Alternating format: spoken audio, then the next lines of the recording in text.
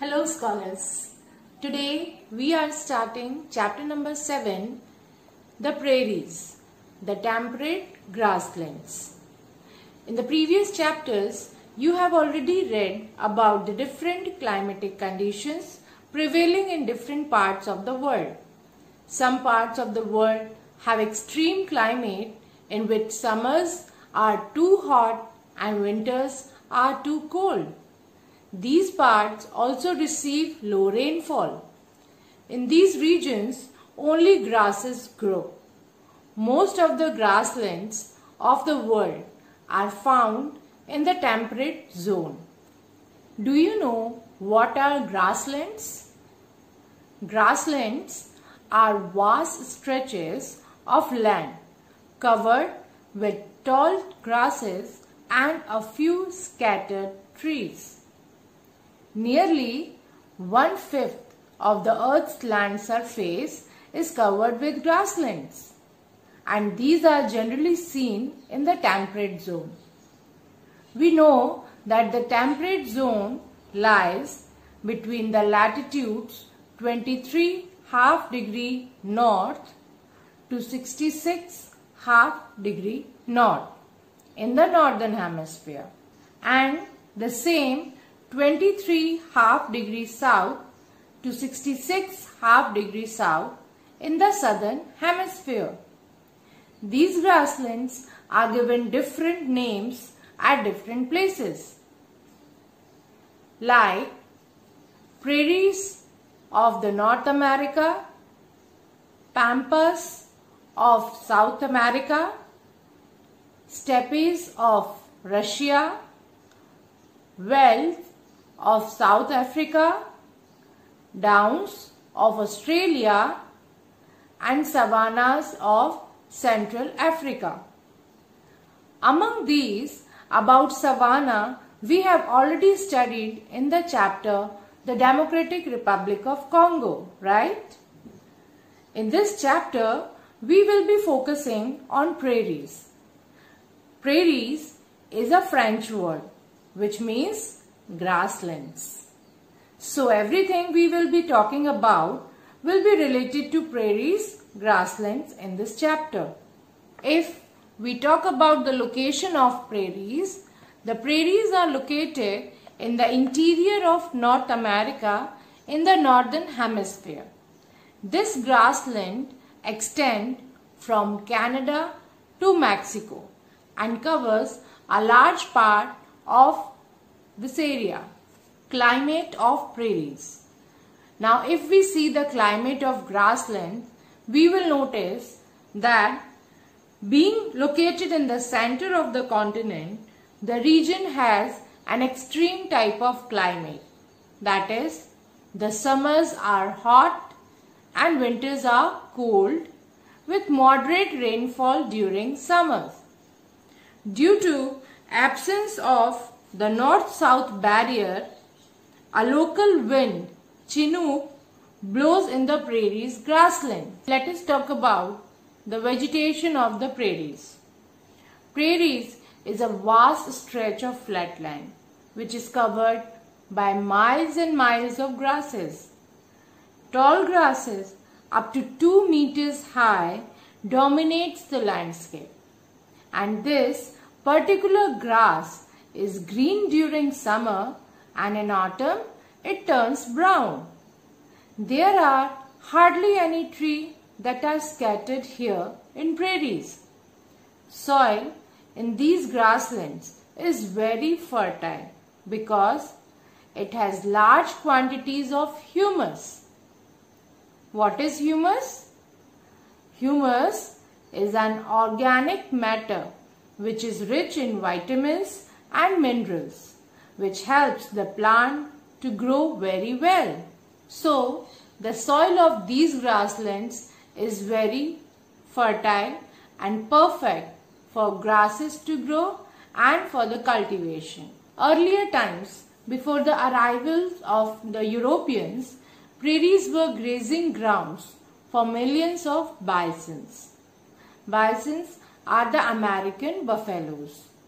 But now a lot of land has been cleared out for cultivation of farm and farmlands. In today's day, hardly we see any bison here. Let us see and talk about the agriculture in prairies. Now if we see agriculture, as we already saw that the soil is very fertile and rich in humus and water is available in plenty in this region. And as you know, for agriculture, water is must in good quantity. So in prairies, plenty of water is available from the two rivers, Mississippi and Missouri and their tributaries. These rivers are helping in irrigating the land, giving lot of water so the plants can grow and because of this, land becomes perfect for agriculture as there is fertile soil and plenty of water. This region produces so much wheat that it is called the wheat basket of the world and this makes United States of America the largest exporter of wheat in the world. Apart from wheat, there are other main crops which are grown here like maize, barley, rye, oats, potatoes, soya bean, cotton, alfalfa and nutritious grasses. If we see the farming techniques, farmers generally use machines for all of their work like plowing, sowing, harvesting, threshing, etc. For all of these work, farmer use machines. Whereas in India, many farmers do manual work. That means most of the things they do by themselves. But here, they use high technique machinery in order to complete their work fast. In prairies, people have very large farms. Generally, these people are the European settlers who have come in from Europe and they have settled in these farmlands which are very huge. Their houses are within the farmlands. Even the workers generally stay with them in the farmland.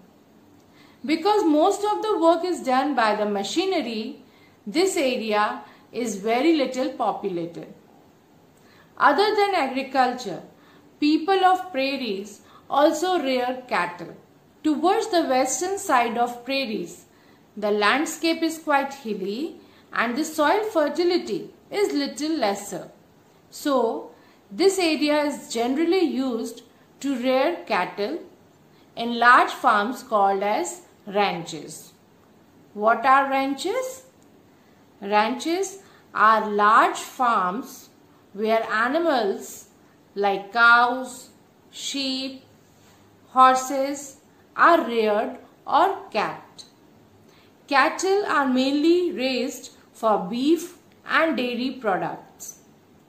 Cattle are sent to slaughterhouses for the production of beef. Chicago is the center for slaughtering animals. Like agriculture, ranches and slaughterhouses are also equipped with modern machinery. That is, most of the work here is done by the machines. The ranches are looked after by the sturdy men called cowboys. Bison or the American buffalo is the most important animal of this region rabbits, coyotes, gophers and prairie dogs are also found in this region.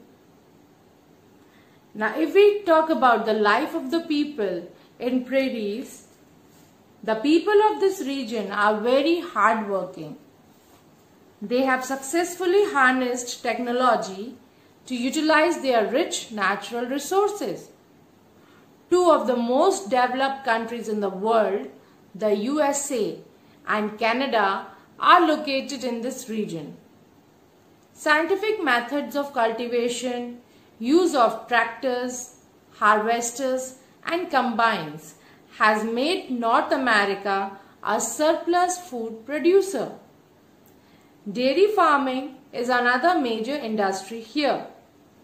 The dairy farming and extensive agriculture both promote setting up of food processing industries.